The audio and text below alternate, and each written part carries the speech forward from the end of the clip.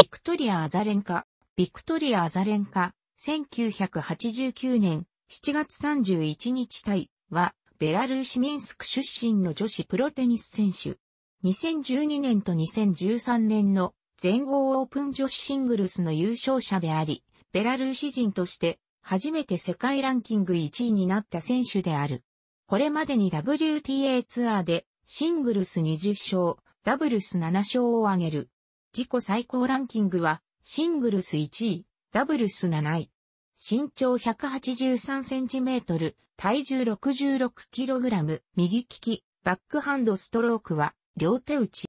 アザレンカは母親の勧めで7歳からテニスを始めたが、家族の中でテニスをしているのはビクトリア一人だけである。2004年にウィンブルドンのジュニア女子ダブルス部門で優勝し、2005年には全豪オープンと全米オープンのジュニア女子シングルス、全仏オープンとウィンブルドンのジュニア女子ダブルスで優勝した。ジュニア女子ダブルスではアグネシュ・サワイとのコンビで2大会連続優勝を達成している。2005年から女子テニス国別対抗戦、フェドカップのベラルーシ代表選手になった。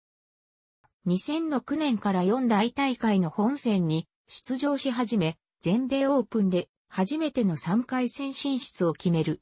17歳のアザレンカは1回戦で第11シードのアナスタシア・ミスキナを破った金星の後、3回戦でアンナ・チャクベタゼに敗れた。全米オープンの後、2006年10月のウズベキスタンタシュケント大会でアザレンカは同じベラルーシのとペアを組んでダブルス初優勝を飾り、シングルスでも準決勝まで進出した。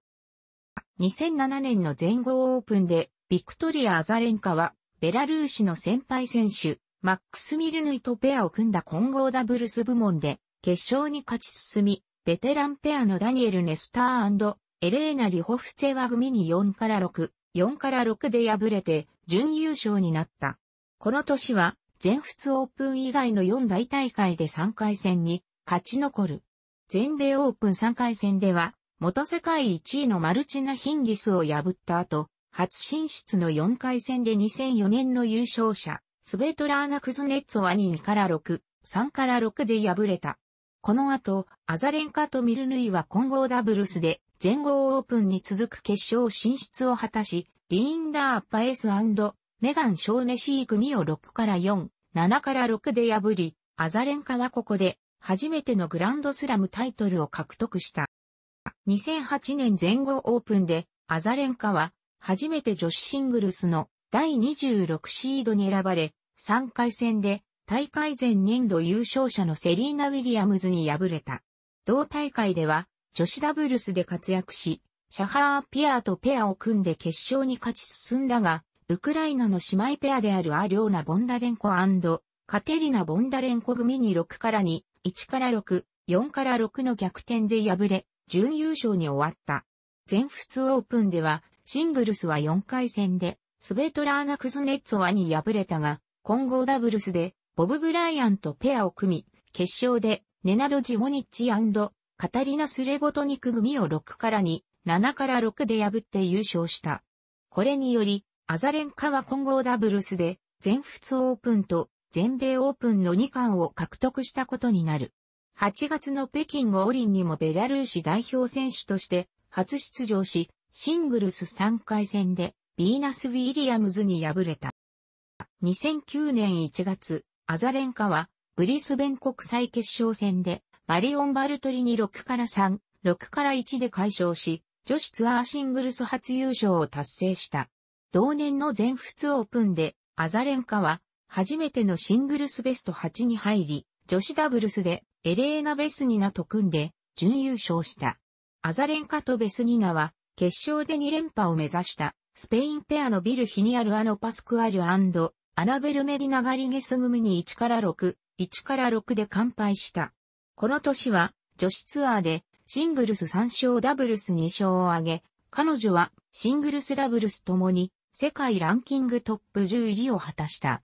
2010年はシングルスで4回決勝に進出しに、大会で優勝、2大会で準優勝した。2011年の全豪オープンでは、シングルスは4回戦で敗退したが、マリア・キリレンコと組んだダブルスで3年ぶり決勝に進出した。決勝では、第1シードのヒセラ・ドゥルコフラビア・ペンネッタ組に、6から2、5から7、1から6の逆転で敗れ4、大大会ダブルス初優勝を逃した。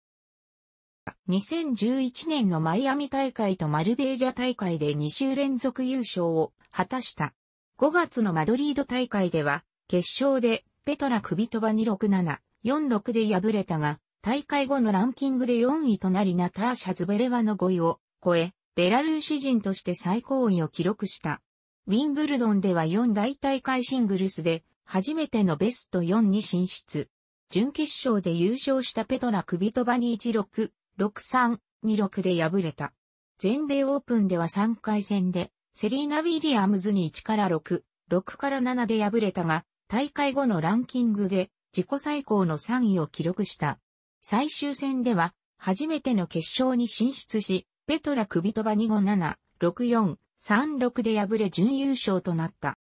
2012年は、初戦のシドニー国際で優勝し、前後オープンでは4大大会初の決勝進出。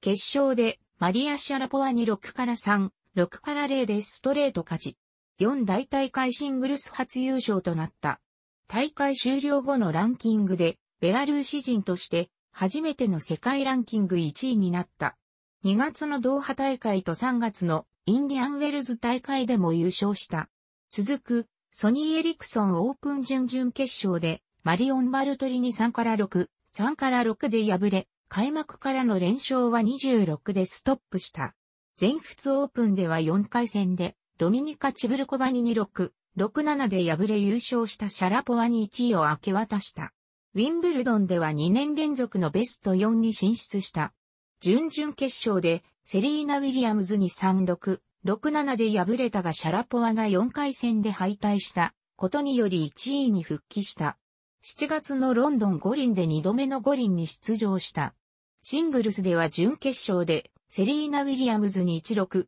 2-6で敗れたが、準決勝敗退選手2名による銅メダル決定戦で、ロシアのマリア・キリレンコに6から3、6から4で勝利し、銅メダルを獲得した。マックス・ミルヌイと組んだ混合ダブルスでは、決勝で、ローラ・ロブソンアンディ・マリー組に26、6-3、18で勝利し金メダルを獲得した。全米オープンでは、決勝で、セリーナ・ウィリアムズに26、6-2、5-7で敗れ準優勝となった。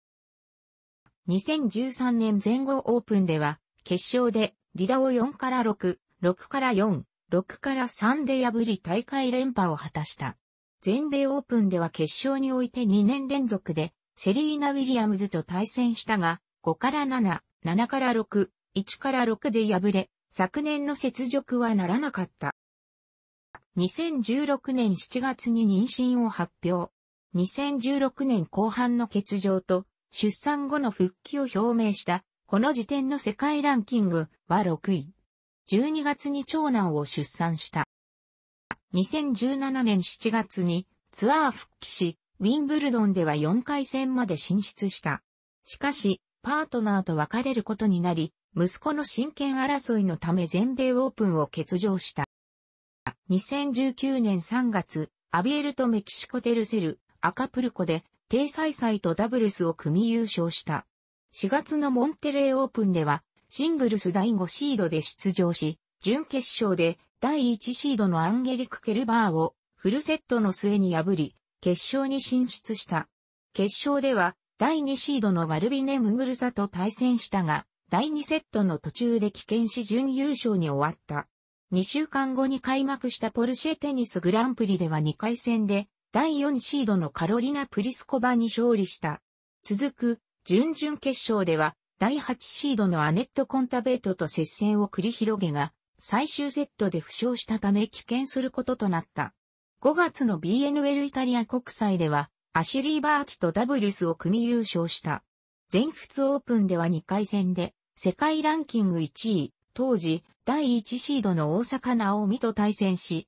1セット目を選手し2セット目も優勢に進め、大阪を崖っぷちに追い込んだが2時間50分の激闘の逆転負けを喫した。2012年末頃からエレクトロホップデュオ LMFAO のメンバーであるアメリカ人ミュージシャンレッドフー英語本名ステファン・ケンダル・ゴーディ英語ステファン・ケンドル・ゴーディと恋人関係にあることを公にしておりアザレンカの試合を観客席から応援するレッドフーの姿もたびたび目撃されている。また、レッドフーが2013年9月にリリースした曲、 Let's Get Ridiculous、英語のミュージックビデオに、アザレンカが、ヒョウ柄の制服を着た、客室乗務員役として、カメオ出演。2013年11月に開催された MTV ヨーロッパミュージックアワードでは二人揃って出席する様子が報じられた。楽しくご覧になりましたら、購読と良いです。クリックしてください。